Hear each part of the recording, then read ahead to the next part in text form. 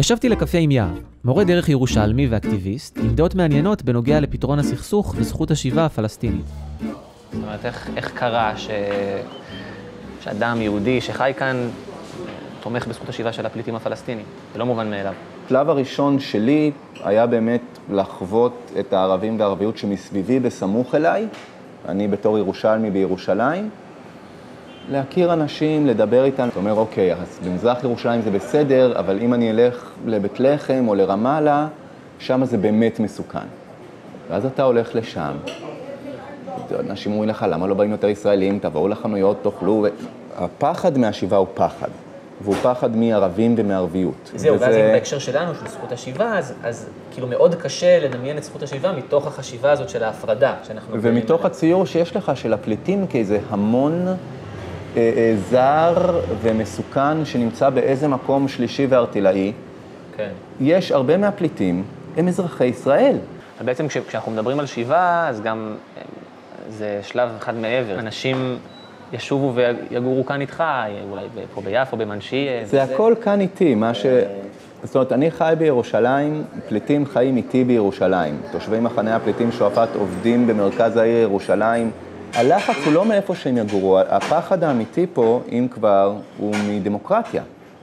הוא ממצב שבו הם יהיו שותפים בקבלת ההחלטות. כי זה שנמצאים תחת שלטוננו בלי זכויות, אנחנו פחות או יותר מקבלים. ואנשים מעזה הרי עבדו בתל אביב, וניקו את רחובות תל אביב. הבעיה לא הייתה שהם יהיו כאן. כן. הבעיה הייתה שהם יישארו עניים, שהם יישארו נשלטים, שהם יישארו בלי זכויות. אני חושב שיש עוד פחד שאולי הוא קיים, שהוא קשור לזהות. שיש איזושהי זהות כרגע תרבותית, אה, ישראלית, שהמרחב כולו בעברית, שאתה מרגיש מאוד בבית. אני חושב שזה משהו שאולי צריך להתייחס אליו, שבאמת... לגמרי, זה לא שיפסיקו לדבר פה עברית. כל השינויים הפוליטיים שנעשה, אגב, אני לא אומר שזה דבר טוב, אבל יהודים הם בעלי ההשכלה פה והם בעלי הנכסים פה. זה ייקח הרבה זמן עד שבאמת מאזן הכוחות יתהפך. גם שהוא מתהפך פוליטית, ואפשר לראות דוגמאות לזה בעולם, עדיין הקבוצה שהיא בעלת הכוח ההיסטורי שומרת על כוח הרבה זמן. כן, ואתה בעצם חבר בפורום שמנסה לקדם את הנושאים האלה, נכון? אני חבר בפורום יהודים למען שיבה אה, במסגרת עמותת סופרות. ואנחנו בעצם התאגדנו כדי להגיד שאנחנו תומכים בשיבה, ולהגיד שאנחנו תומכים בשיבה לא כי מישהו דורש את זה מאיתנו, אלא כי לדעתנו זה לטובתנו. באופן שבו אנחנו יכולים להשתחרר מהחיים על החרב, לגור בארץ, אה, מה שהתנ"ך הבטיח לנו, להיות אה, תחת גפנו ותחת תאנתו. שזה לא יכול לקרות לפני השיבה, למה? כל עוד אנחנו, תראה, תראה את האנשים שצועדים על הגדרות ואנחנו יורים, אנחנו, אנחנו יורים אה, בילדים, בנשים, בכל מי שבא ומתקרב לגדר ורוצה לשוב. אנשים לא יפסיקו לרצות לשוב, אתה יכול להמשיך לירות בהם, אבל זה המצב שתהיה בו. ועל מה? באמת חסר פה אדמה?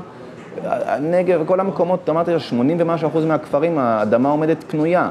כן. ותגיד, אתה חושב שיש סיכוי לשכנע יהודים אחרים בדבר הזה, נגיד מהחוויות שלך, נגיד שאתה, שאתה אומר לאנשים שאתה תומך בזכות השיבה ו... אז הנה קצת מצחיק שאני פה מדבר איתך, כי אני לא חושב שככה אני יכול לשכנע מישהו. החוויה שלי, והיא חוויה גם בתור מורה דרך, אמ, שיחת סלון, אני לא מכיר, לא זוכר אף פעם בחיי שהשתתפתי באיזה ויכוח פוליטי בישראל שמישהו אמר, וואלה, רגע, אני עכשיו אחשוב מחדש על... ומצד שני, אני חושב שהוויית ההפרדה שלנו יוצרת תודעה, ושאנחנו צריכים, יכולים לשים לב לזה, ויכולים באופן פעיל ליזום שינוי בזה, לפגוש פלסטינים ו... ולשבת איתם ולדבר איתם באמת, אני חושב שזה כן חוויה שהיא משנה.